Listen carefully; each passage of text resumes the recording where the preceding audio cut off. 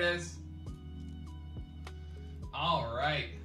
Staring down the question number five. All right, so I found something kind of similar to it. I was actually hoping NC could help me with a couple things in it. Because guess what? That, that's a little complicated. All right, so the quadrupole moment. So, um, first thing we can talk about a dipole moment. A dipole moment is something. You'll see. We'll talk about it. Um, but a dipole moment is something that's like pretty straightforward that everybody has a fair deal of. A dipole moment is something where you have like, you know, two electron or two charges. You know, something that looks like that, right? and you can kind of treat this like um, like one thing. You can talk about the dipole as like one type of charge. So you can talk about the electric field anywhere around the dipole moment. Um, and there's formula that like simplify a dipole moment and everything like that. Um, so then we have another kind of more peculiar. Oh, I guess I didn't have to do that. We have another kind of more peculiar case where, uh, in a higher pole, it'd be a higher pole moment, is what we call it, and that's a quadrupole, where there's four points now. So here, this is a positive x, positive x minus, or x. What am I talking about? Uh, proton, proton, electron, electron type of deal. You know, we're we'll just talk of charges in general. Um. So what can happen is these can kind of get squished a little bit. And if everything is perfect, the quadrupole moment would be zero. Okay, and we'll talk about what formula makes that zero. But if everything was perfect, the quadrupole moment would be zero. Okay, if it was perfectly symmetrical. But it's not always perfectly symmetrical, and a lot of times what happens is you end up getting like this like kind of like elliptical pattern. Okay, and the, everything about an ellipse has two foci. Foci? Foci or foci? Foci? Something. Anyways, so the general uh, equation, it looks like this. It's x squared uh, over a squared plus y squared over b squared equals 1 for two dimension. The three dimensional one, I think you just add a z squared over b. Focuses. yep, that's the one. That's how you. That's how you do it right there. That's the. That's the guy. Um. All right, so the focuses. Uh, and then the foci are c is equal to the square root of. Uh, I gotta remember. It's a squared minus b squared. A squared minus b squared. So this is kind of like your general, like elliptical surf or s- object. Okay. So these quadrupoles, uh, yeah, if the charges are not straight, then they can have different elliptical shapes, and they're not going to be perfectly spherical. So they'll end up with what's called a quadrupole moment, and then you can do certain things with that quadrupole moment. Now, uh, and you see, there's like some quadrupole moments that are like listed on the on the board there. Here, let me pull up full screen so you guys can get a better look, and then we'll dive into this in a second. So, uh,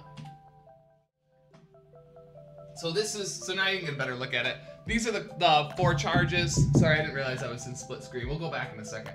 But then uh, this is the ellipse and all of the things that go with it. X squared over a squared plus y squared over b squared is equal to one. And that's just general, general ellipse. Okay? And like the three-dimensional one, like I said, is just add a, a plus z squared over b squared. I think, pretty sure. Okay. So we can bring that back up and take another look. All right, so then we can see some generalized, like, uh, some generalized quadrupole moments, right? But that's not really exactly what we want to do. So I did manage to dig around and find some reasonable other uh, solutions to this for um, like general physics style. So let me write down some of the formula I found, uh, and I did it using this obs- obscure thing.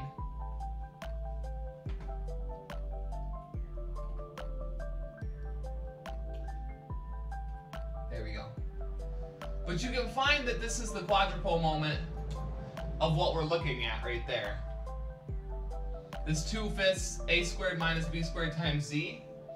And that's a simplification, like, uh, I found it in this thousands problem, and like they kind of go through all the steps very like uh, one after another. But I'm not gonna bother going through all those steps because uh, I'll put that in chat and you can find it. Um, we're on. This is problem eight. Like these are just different problems. None of these problems were the problems that were your problem. Like they're all separated from that. But it's just a. Uh, did it error out? Did it error? Can someone check that link and let me know if that errored out? Um. But anyway, so this is it does work its way through it. It was kind of complicated and like you could go through it step by step if you wanted. But we can sort of like skip all the fluff and get to this. And is I wanted to know, Jax, is this something that you saw like in your textbook or anything? This uh, this q equals two fifths one. Let's see here.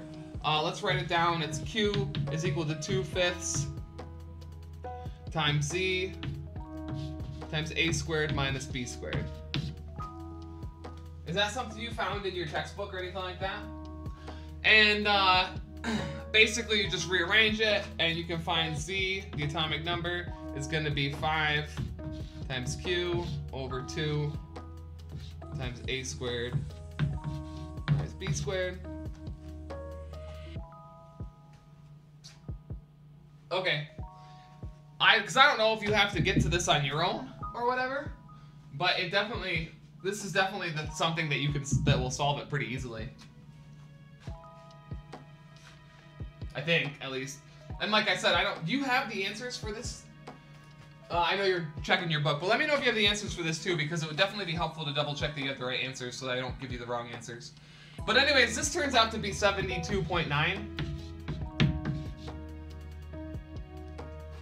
And it's not a, uh, so we have to round it to 73. It's not. It's it's uh. This is uh, has units of.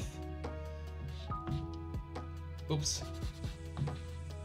Femto meters squared over femtometers squared. So they cancel away.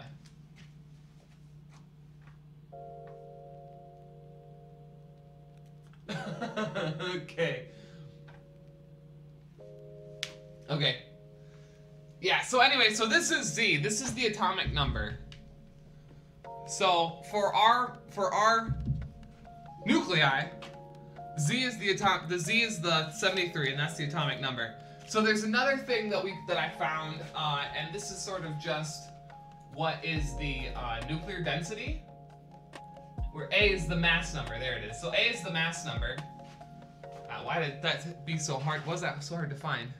So we can also find rho is equal to the mass number divided by the volume of the elliptical quadrupole. So the volume of the elliptical quadrupole, you can find the volume of a of a uh, an ellipse to be a b squared.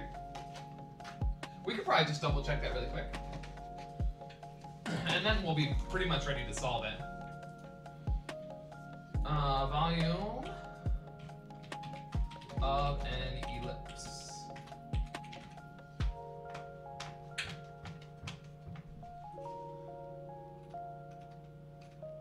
What's the difference between an ellipsoid?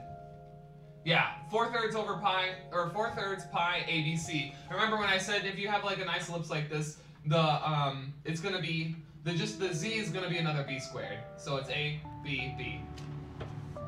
That would be for an ellipse. I guess when a, b, and c are different, but our b's are gonna be the same. Which how do you know that? I don't really know how you're supposed to know that for an atom, but I assume you. I think it's one of the things you can assume. Again, that seems like a chemistry thing. And this is not chemistry office hours. It's not chemistry office hours. Uh, okay. So, if we have A is the atomic, or the mass number, then we can solve for it, because we're given everything else, too. And for this I got, uh, so this is gonna be A is equal to, you see still? Yeah. A is equal to rho times, you know, 4 thirds pi A B squared. And I went ahead and plugged all those numbers for us. So as, because I know you, I know you can run a calculator, so I'm not gonna sit there and, you know, do that right now. Um, oh, I didn't write it down though. It turned out to be 182. I don't know. I'm glad I remember that. okay, so now we have uh, Z, which is the atomic number, and A, which is the mass number. The atomic number is um, but what is the atomic number? Do you know what that is? Like, what's special about an atomic number? It's the number of what?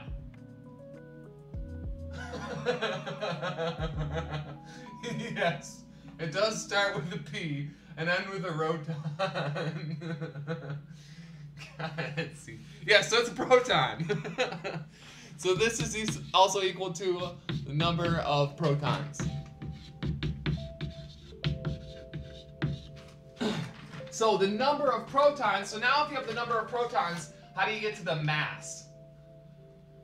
There's a mass number, and then I, I that's just what it is, or maybe I should say the charge. Let's talk about charge. Yeah, not protons and condensed matter physics. right, not protons and condensed matter physics. Anyways, in order to get to the charge, you have to multiply this by the, uh, by the, uh, by the electron. So in order to find the charge, I really don't want to erase my nice, my wife's nice picture. So we can get rid of the ellipses.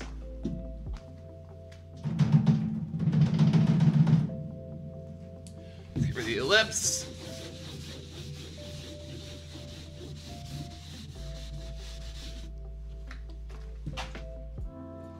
And then we can see that the, uh, anyway, so the charge is going to be Z times E. And then A, we got to be 182. Z, we got to be 73. Oops. And then the neutrons is just going to be 182 minus 73. I didn't actually do that, so we'll have to figure that out real quick. But it's just going to be what? 109. 82, yeah, 109. 109. So the neutrons are 109. Let's double check and look at this problem again here. C transition. That's not the problem.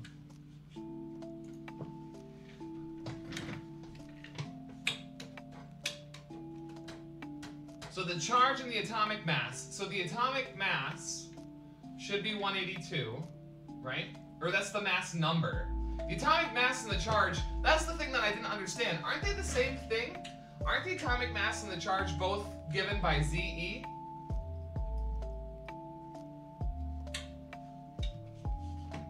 Oof, I don't know. That's beyond me.